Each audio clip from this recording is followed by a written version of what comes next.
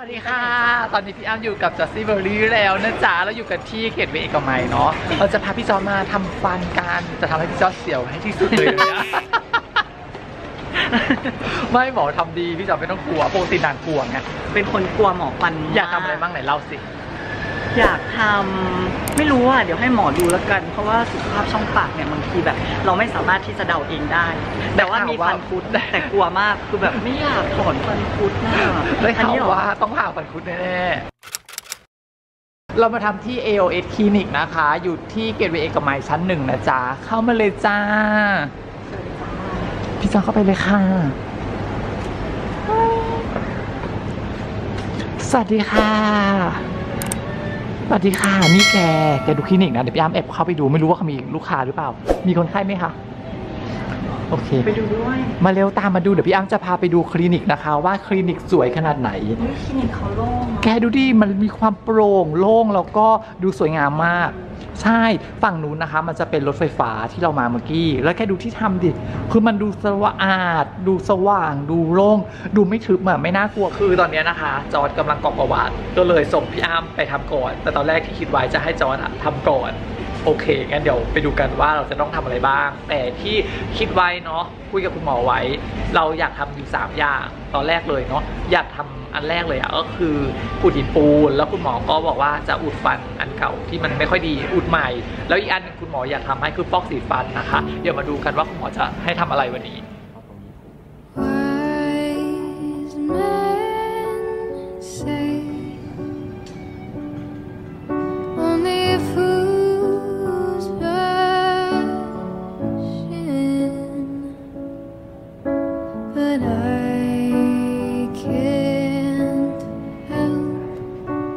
อันนี้คือฟันจอที่เอ็กซเรย์เมื่อกี้เหรอ ใช่ครับ อุ้ยเลิศว่ะ คือที่นี่ดีเนาะมีที่เอ็กซเรย์ฟันเรียบร้อยเลยอะแต่มันขึ้นตรงนะเห็นไหมแต่แค่ว่าหมอบอกว่ามัมันนไม่ยอมติดกระดูกมันติดมันกระดูก ก็เลยโผล่ออกมาไม่ได้ อ้าวเหรอ แล้วอย่างนี้เราต้องรอกระดูกเหรอ แต่อันเนี้ยมีถ่ายรูปได้ถ่ายจะเอ๋ถ่ายเลยไม่รู้เลยว่ามันอยู่ตรงนี้อุ้ยอันนี้น่ากลัวมากเลยอันบนใช่อะคือไม่เคยรู้เลยไม่รู้สึกอะไรเลยว่าอยู่ตรงไม่เอาจริงๆอันบนคือน่ากลัวกว่าอันล่างอีกนะ ใช่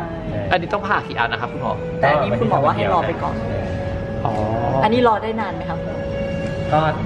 ถ้ามันเริ่มมีอาการแบบเตือนเราอย่างนี้ก็ คุณหมอแต่ว่าเท่าที่อ้ำเคยรู้มาค่ะว่าถ้ามันขึ้นอย่างเงี้ยมันจะดันฟันหน้าให้ให้แบบไม่เป็นรูปทรง มันมันก็ดันแต่ว่าความที่เราเคี้ยวทุกวันเนี่ยมันมีแรงจากการเคี้ยวอ๋อ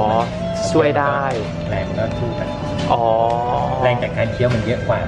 อ๋อเพราะไม่งั้นเดี๋ยวฟันจะไม่เรียงกันอีกใช่ จะแย่แล้วก็มีอันนี้ด้วยแต่อันนี้ก็ยังไม่รู้สึกว่าโผล่มา แต่ว่าหมอบอกว่าอันเนี้ยอันโผนี้ล่คือได้ได้จะฟันเยอะกว่าฟันกีซี่วันเนี้ยเยอะ มีแค่สามแต่ว่าอันเนี้ยฝั่งเนี้ยไม่มีก็เลยงงว่าแบบหายไปไหนเฮ้ยเป็นดูฟันเธอเยอะมากเลยอะแม่ลืมให้ซึ่งดีแล้ว ไม่แต่วันนี้เราผ่าอันนี้เหรอใช่ครับเฮ้ยอันนี้คือง่ายสุดแล้วอะเพราะดูดูไม่มีอะไรเท่าไหร่เลยอะใช่กลัวนะเหมือนถอนเลยปะคะคุณหมอคล้ายๆถอนเลยเนาะก็ต้องเปิดเหงื่อนิดนึงเพราะมันจมอยู่อ๋อแต่มันจะโผล่ขึ้นมาตรงนี้เองอ๋อประมาณ 20%เปอร์เซ็นต้องต์ตัดไหมครับคุณหมอหรือว่าถอนออกมาได้เดี๋ยวดูค่ะเดี๋ยวดูด้านนี่คือโครงหน้าพี่จอนเหรอทำไมตรงนี้มันดูย้วยจังเลยอะ อันนี้อันนี้กรามอ๋อเป็นกรามเหรออ๋อกรามกรามที่อยู่มาที่เป็นดำๆเขาเรียกว่าวัสดุอะไรนะคอะรับเมาตั้มครับลองตั้มครับเป็นสารเกลียดแล้วที่คุณหมอฝึกใหม่ที่มันเป็นสีเดียวกับฟันคืออะไรครับเขาเรียกคอมโพสิตเมซินเป็นวัสดุสังเคราะห์ที่มีความแข็งเท่าฟันจริงๆแล้วมันมีกี่แบบนะครับในการดูครับปัจจุบันนี้ก็มีสองแบบนี้แหละตัวคอมโพสิตกับ อย่างที่อ้ำฝึกนี่ราคาเท่าไหร่ครับต่อซีรีส์อะไรถ้าด้านเดียวเริ่มที่หนึ่งพันเนี่ยครับถ้าสองด้านก็หนึ่งพันเจ็ดร้อยต่อซีรีส์หรือว่ายังไงครับต่อต่อด้าน คือฟันฟันหนึ่งซี่เนี่ยมันจะมีหลายด้านอ๋อถ้าด้านบนด้านเดียวเหมือนเราคิดถึงลูกเต๋าลูกเต๋ามีกี่ด้านเนาะอ๋อมีมีไม่หกหกด้านหกหกนะไม่เคยเล่นไฮโลลูกเต๋ามีหกด้านใช่ไหมฟันไม่เหมือนกันฟันมันมีห้าด้านเพราะว่าอีกด้านหนึงเป็นล่างอ๋อเป็ นห้าด้านนะครัน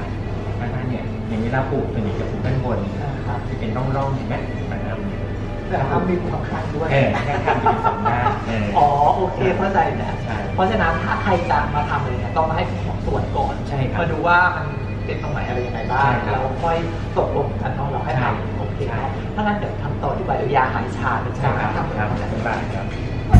This is me wanting to be ตอนเนี้ยพี่อ้ำอุดตันเสร็จเรียบร้อยแล้วเดี๋ยวพี่อ้ำจะขึ้นภาพ before after ให้ดูนะคะปิ้งพี่อ้ำมาอุดทั้งข้างบนข้างล่างเลยอาทิตย์อ่าฮะก่อนมาอุดข้างบนแล้วรอบเนี้ยมาอุดข้างล่างรวมทั้งหมดเป็น6ซี่แล้วนะคะอือหือก็มีอะไรสงสัยนิดนึงอยากจะถามคุณหมอเพิ่มเติมนะคะได้เกี่ยวกับการอุดฟันก็คือว่าวัสดุแบบเนี้ยกับแบบสมัยก่อนที่อ้ำเคยอุดมา มันมีข้อดีข้อเสียแตกต่างกันยังไงบ้างคะคือความแข็งแรงในตัวเก่าเนี่ยมันเป็นโลหะมันเลยแข็งแรงกว่าฟัน อืแต่มความที่มันแข็งแรงกว่าฟันมันก็ไม่ได้ประโยชน์มาก เพราะว่าเวลาสึกเนี่ยสมมติมันสบกับฟันใช่ไหมฟันเนี่ยจะสึกมากกว่า เพราะว่าตัววัสดุไอ้ตัวโลหะอะโมกัมเนี่ยมันแข็งกว่าอ๋อ ปัจจุบันไอ้ตัวสีขาวเขาเลยทำให้แข็งแรงเท่ากับฟันค่ะเพราะฉะนั้นเราเสร็จก็ไปไปพร้อมๆกันก็คือตัวสีขาวที่เหมือนฟันเนี่ยเป็นที่นิยมมากกว่ามากกว่าครับ แล้วบางครั้งนี่มันอยู่ได้นานนะคุณหมอนานครับ เกินห้าปีครับเกินเกิน5ปีเลยแต่ทั้งนี้ทั้งนั้นก็ต้องแปลงฟันแล้วก็ใช้ไหมไหมขัดฟันเหมือนปกติอ๋อนะโอเค เดี๋ยวมีสิ่งจะถามคุณหมอ ก็คือว่าทำไมฟันถึงผุอันเนี้ยคือน่าจะมีหลายคนอะอยากรู้ คือแบบเด็กๆอะเขาก็จะมีสั่งห้ามห้ามทานลูกโอมอะไรอย่างเงี้ยเดี๋ยวจะฟันผุแล้วเราอะก็คือชอบทานของหวานชอบทานชานมอะไรอย่างเงี้ย ไม่รู้ว่ามันเป็นปัจจัยที่ทำให้เกิดฟันผุด้วยหรือเปล่า ใช่ครับอาหารหวานอา หารหวานแล้วก็อาหารที่ติดฟันง่ายค่ะเช่นอย่างแป้งๆพวกเนี้ยอืมมันการที่ติดฟันแล้วเราแปลงไม่ออกเราไม่ได้ใช้ไหมขัดฟันค่ะก็จะเป็นต้นเหตุของการผุอ๋อการแปลงฟัน คือแปลงฟันเนี่ยนอกจากเช้ากับก่อนนอนขอย้ำมากถ้าหลังอาหารกลางวันถ้าทำได้ก็ดีเยี่ยมเลยค่ะทีนี้ก็คือจริงๆแล้วเราทำเข้าใจ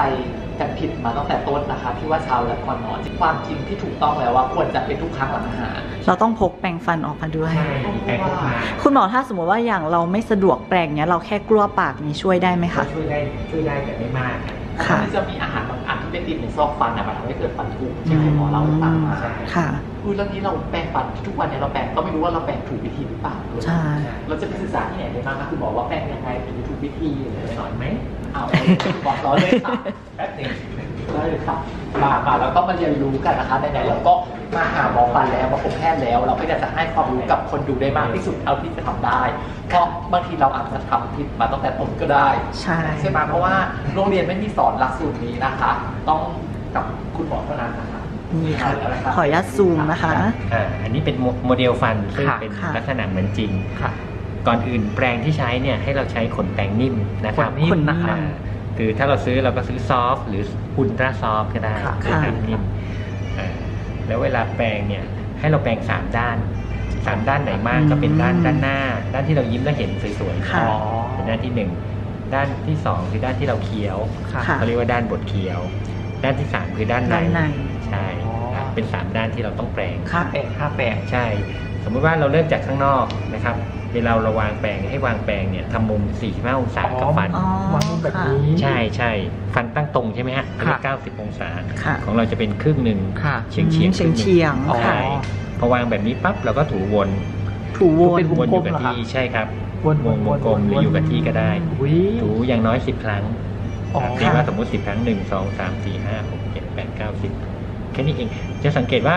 ขนแปรงมันจะโดนที่ซอกฟันกับคอฟันเห็นไหมฮะค่ะค่ะซึ่งเป็นจุดที่สะสมเศษอาหารมากที่สุดครับพอสิบครั้งเราก็เปลี่ยนตำแหน่งหนึ่งสองสามสี่ห้าหกเจ็ดแปดเก้าสิบอ๋อไล่ไปเรื่อยๆต้องใจเย็นๆใช่ใจเย็นๆฮะอย่าใจร้อนนะครับแปรงฟัน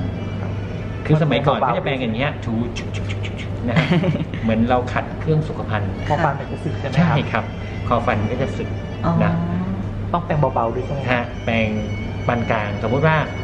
ถ้าหมอเห็นคนไหนที่ฟันสึกเนี่ยบอกว่าที่เคยแปรงเนี่ยให้ลดลงครึ่งหนึ่งอ๋อเออเท่านั้นเพียงพอละค่ะนะครับอะแล้วด้านต่อไปล่ะก็ด้านบนใช่ไหมครับระวางตรงๆเลยอย่างนี้ค่ะตรงแล้วก็ถูวนเหมือนกันวนเหมือนกัน action วนหมดเลยครับสิบครั้ง นะครับตำแหน่งละสิบครั้งไล่ไปเรื่อยอ๋อ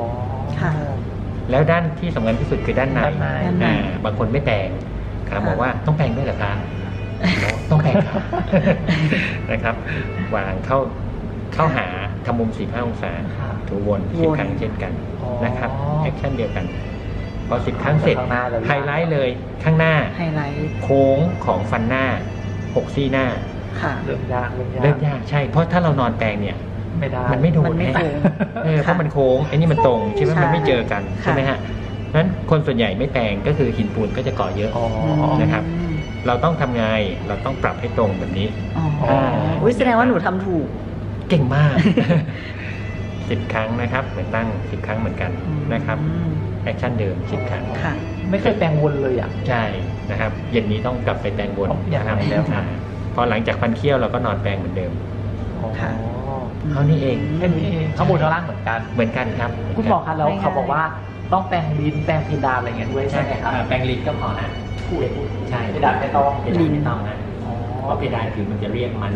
ค่ะคุณหมอคะแล้วปกติแล้วเราควรจะใช้ไหมขัดฟันก่อนหรือใช้แปรงใช่ไหมครับเออจริง ๆได้ทั้งสองอย่างมีคำแนะนำว่าใช้ก่อนก็ได้ใช้หลังก็ได้ แต่ส่วนตัวเนี่ยรู้สึกว่าการใช้หลัง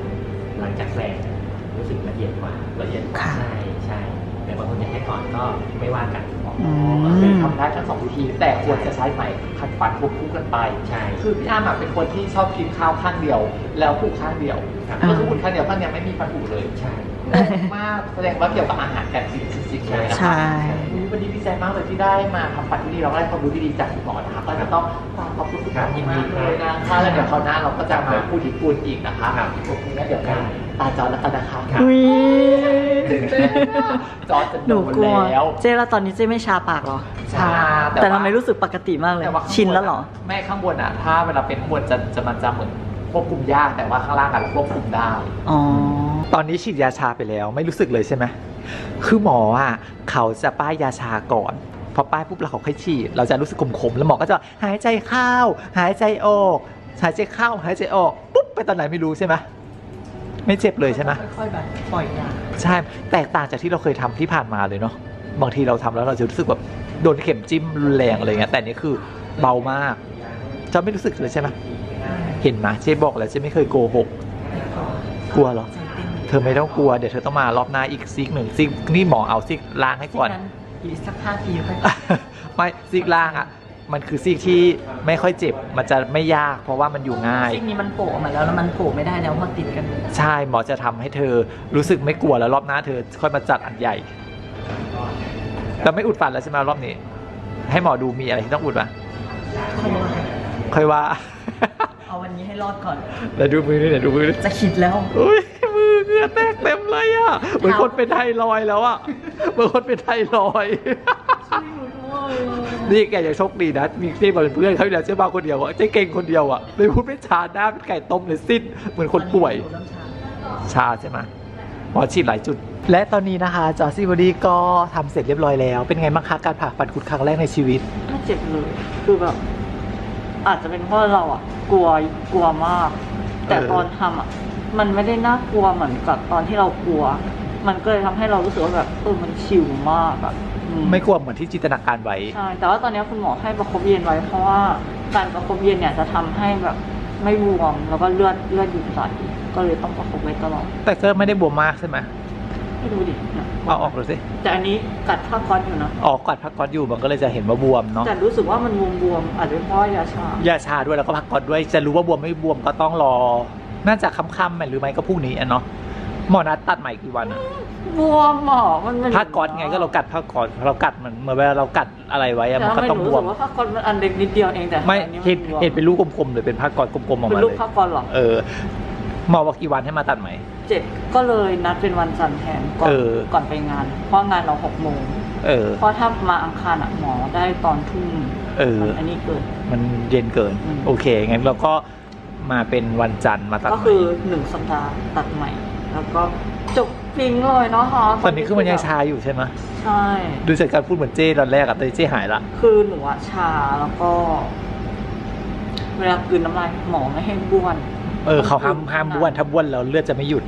แล้วตอนเนี้ย เวลากลืนก็รู้สึกว่าแบบขมเลือดเออมีเค็มๆเอ้ยเปรี้ยวๆอะรสชาติของเลือดอะมันน่าจะมีรสชาติขมๆยาชาลงไปด้วย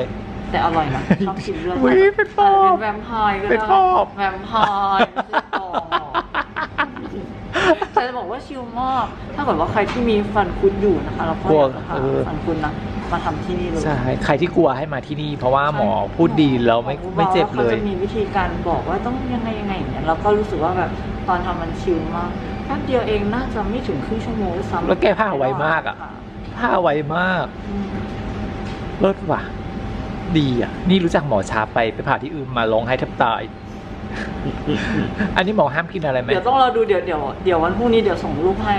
อันนี้จะหมได้อแบบว่าเอามาอัปเดตหนึ่งบอกว่าแบบหลังจากผ่านไปหนึ่งวันแล้วมันเป็นยังไง บวมเยอะไหมอะไรเงี้ยอันนี้หมอห้ามกินอะไรมาห้ามทำอะไรมาแค่ห้ามบ้วนน้ำลายอย่างเดียวมาห้ามว่าน้ำลายอย่างเดียวแล้วก็อีกสองชั่วโมงภาพก่อนออกแค่นั้นแหละจบเราไม่มีห้ามกินอะไร ไม่ห้ามคือตำราของแพทย์อะเขาจะไม่มีเนาะห้ามแบบกินของแสลงอะไรอย่างเงี้ยแต่ว่าตำราเราอะมี แต่เราอะชอบคิดเอง และตอนนี้นะคะพี่อ้ำกับพี่ซอนก็เสร็จภารกิจการทำฟันของวันนี้ไปแล้วนะคะ ก็เดี๋ยวมาคราวหน้าเนาะพี่ซอนก็จะมาทำการผ่าเอ้ยไม่ใช่ผ่าตัดไหมแล้วพี่อ้ำก็จะมาคูดหินปูนนะคะ เนื่องจากว่าพอมาทำที่นี่ก็ประทับใจแล้วก็ชอบที่นี่เลยก็เลยจะมาทำที่นี่แล้วกันเนาะบอกไว้ก่อนนะคะว่าคลิปนี้ไม่ได้จ้างนะคะ เราทำด้วยใจเพราะว่าเราชอบที่นี่จริงๆนะจ๊ะ โอเค เอาเป็นว่าเดี๋ยวพี่อาร์พี่เจ้าขอตัวลาไปก่อนนะคะ ถ้าเพื่อนๆชอบคลิปนี้นะคะก็ฝากกดไลค์กดแชร์กด subscribe YouTube Channel ให้พี่อ้ำด้วยนะคะ ไปแล้วนะบ๊ายบาย